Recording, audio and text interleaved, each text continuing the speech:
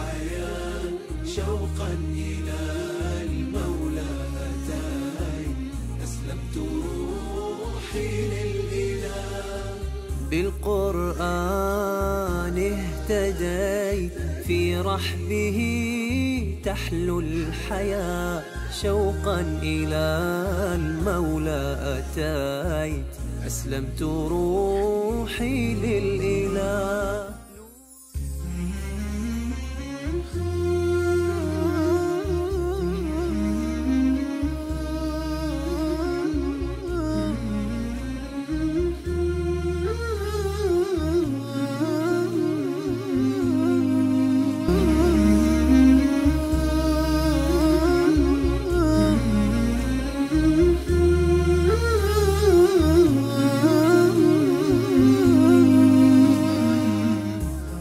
غريغوري مانويل راميس أو كما سمى نفسه بعد الإسلام بلال كان مسيحيا ملتزما بتعاليم الكنيسة كان يحب المنطق ويعشق البحث والقراءة Entre les deux, il y a eu euh, entre un an et demi, donc euh, euh, où après ben, j'ai assumé, donc j'ai appris, j'ai lu, et puis après, ben, après un an et demi, un an et demi, deux ans, Mm.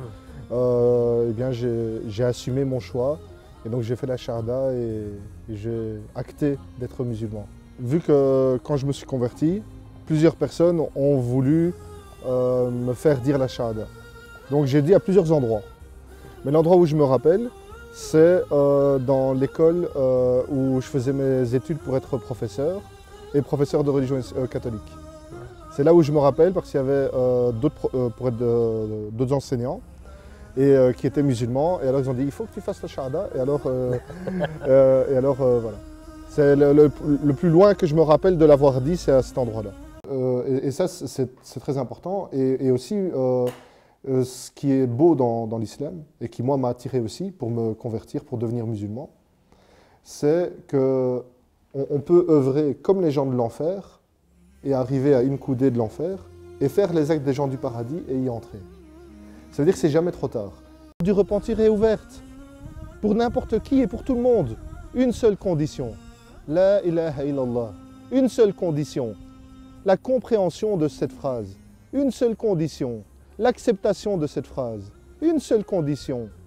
Faire du mieux que l'on peut. Si je peux un tout petit peu, je le fais. Si je peux beaucoup, j'essaye de le faire. Et ce n'est jamais trop tard. Jamais, jamais. Allah ne vous laissera seul. Si vous voulez de l'aide, demandez à celui qui peut vous aider. Demandez à celui qui détient votre destin dans sa main. Demandez, demandez-lui.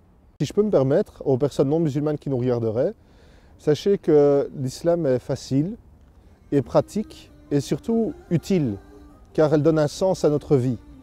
Elle nous explique comment vivre et comment bien vivre. Et l'islam nous rappelle que finalement, si on fait un voyage, l'important, c'est pas le temps qu'on passe dans l'avion, c'est à l'atterrissage.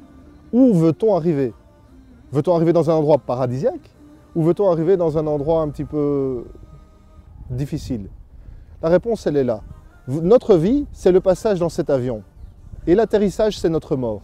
Donc ce n'est pas si grave que ça, la mort, car ça nous ouvre réellement la vraie destination.